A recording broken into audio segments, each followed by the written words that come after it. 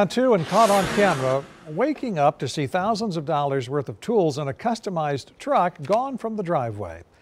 Michael Crystal says someone stole his truck from his Florence Park driveway about 6 o'clock Tuesday morning. There was no broken glass in the driveway, no tire marks, no anything really. Definitely very weird to uh, think for myself and my wife and um, just being on the property and, you know, feel violated, obviously. Um, it's frustrating. You know, we do, uh, we do everything we can to keep ourselves safe and our property safe. And obviously, he's hoping to get that truck back. There's a picture of it. If you see it, you can always call police.